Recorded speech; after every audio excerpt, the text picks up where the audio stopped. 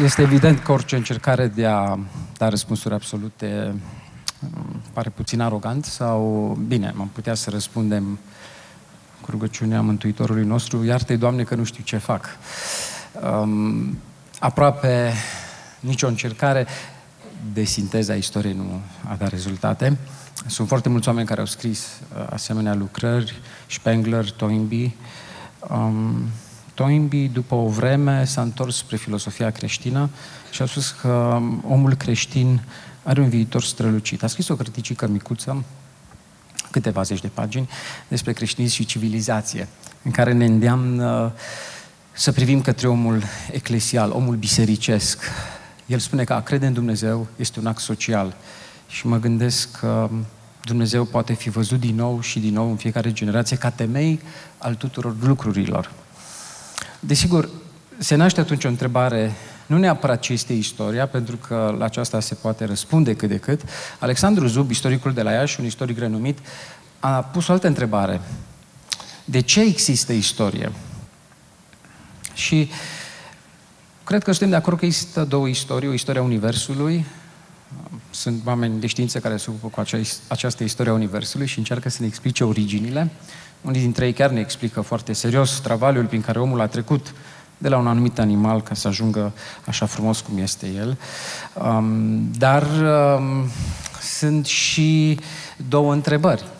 Deci există ceva mai degrabă decât nimic, în special oameni de știință sunt uh, obsedați, într-un, trăiesc într-un mod dramatic, unii dintre această întrebare, dar și această întrebare, de ce există istorie, fiind interesați de omul de aici, nu neapărat de ceea ce spune Sean Carroll, cel care se ocupă de cosmologie și de fizică, spunându-ne că acolo în afară lucrurile sunt cu totul altfel, aici sunt altfel lucrurile. Și atunci se naște o contradicție între cele două abordări ale existenței omului.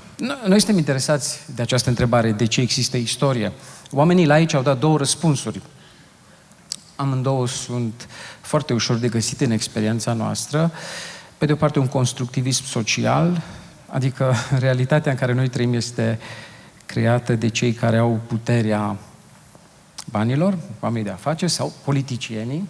Mai sunt și alți oameni care au putere în această construcție socială.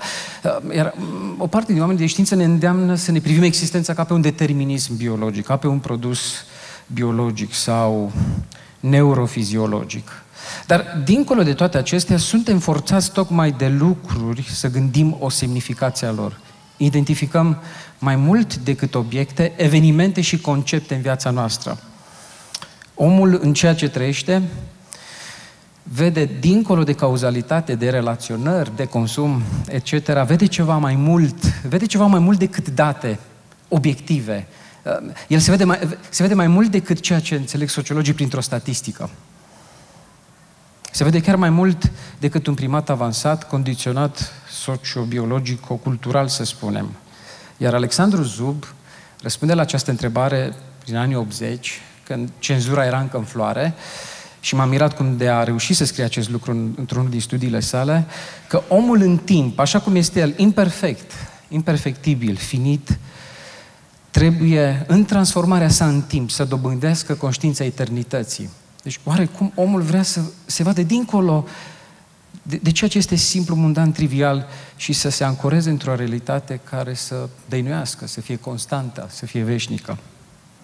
Acum, e drept că istoria nu mai poate fi înțeleasă în termenii um, dictatoriali sau mai nou ni se spune că nu putem să vorbim în termeni absoluți, că istoria s-a întrupat într-o persoană. Știm cu siguranță că nu s-a întrupat în partidul unic, dar um, totuși, totuși tindem să refacem istoria din acest punct de vedere teologic.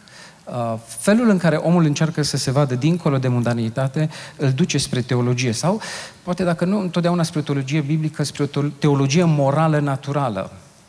De aceea chiar și ateii, precum Lețe Kolakowski, filozof ateu, pune în ghilimele în studiile lui pe Dumnezeul istoric, zice, când, când văd toate aceste tendințe ale omului de a trece dincolo de aceste lucruri, de aceste date obiective, ca și când istoria este fără semnificații și totuși noi tindem spre semnificație, zice el, mă, mă duc cu gândul la Dumnezeul istoric. Și probabil că el se gândea la Dumnezeul creștinismului, la concepția despre lume și viața ideo-creștină, pentru că era polonez și scria într-un asemenea, într-un asemenea cadru, într-un asemenea context. Dar gândiți-vă ce cădere este pentru om astăzi. să nu se vadă într-o istorie a semnificațiilor, ci redus la lumea virtuală, unde nu există concepte abstracte, trăind aproape ca un animal cu imagini senzitive, ca și când nu are istorie. Animalele nu au istorie, le au istorie pentru că o putem scrie noi despre ele, nu au această conștiință istorică, pentru că ele nu secretă sens în istorie. Noi suntem autoreflexivi și ne putem înțelege propriul nostru trecut. Este un mare lucru și de aici sunt foarte alte multe lucruri pe care aș vrea să le împărtășesc în câteva minute cu dumneavoastră, care tind să ne arate nouă că, într-adevăr, ce a zis Jean de Lumont, că suntem rupți dintr-o lume de început, se pare că acestea tind să demonstreze acest lucru. Că, cu alte cuvinte, noi nu suntem începutul și sfârșitul acestei lumi. Avem un început, dar teologia creștină ne spune că nu avem sfârșit.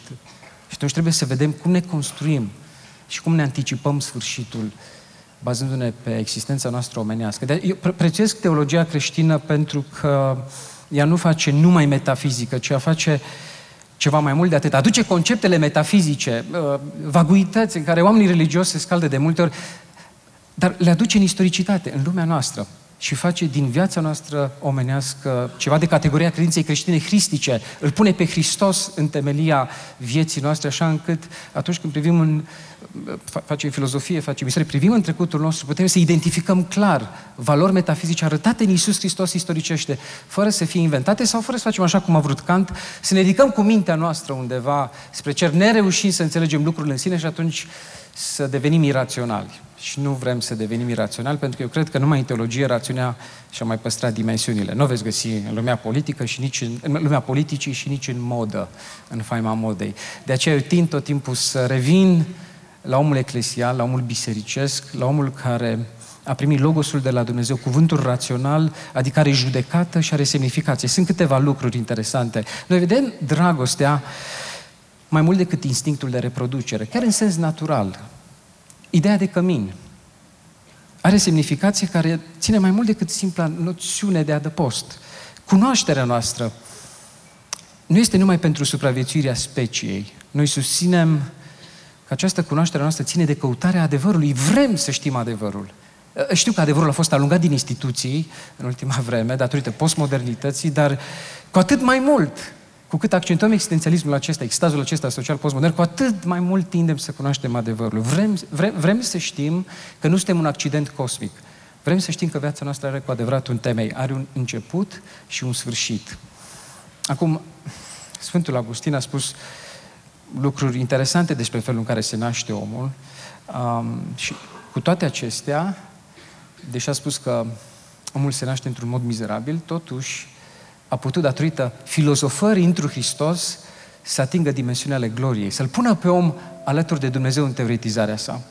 Apoi, persoana umană. Persoana umană este prețioasă în sine, nu este doar un agent angajat de natură ca să asigure perpetuarea speciei, să asigure embrionii pentru continuitatea speciei. Apoi limbajul este mai mult decât convențional. Noi nu suntem animale care lucrăm doar prin semne și avem niște amintiri vagi și apoi ne reîntoarcem la pradă sau la culcușul nostru pentru că uh, vrem oarecum să trăim, să ne conservăm existența. Noi gândim dincolo, dincolo de aceasta. Gândim că limbajul este ceva ce ține de comuniune. Și Hristos, care este cuvântul de săvârșit al lui Dumnezeu, ne invită la această comuniune. Teodore din Cir spunea că Hristos a întrupat, logosul veșnic al lui Dumnezeu, s-a pus în iesle ca să devină hrană pentru om. Omul era ca și dobitocul, nu, nu avea cuvânt rațional. Evident, rațional și în filozofia greacă, dar, dar nu avea această deplinătate a înțelegerii vieții omenești. Și Hristos ne invită să ne, să ne hrănim din El, prin cunoaștere, prin rațiune, prin participarea la comuniunea bisericească.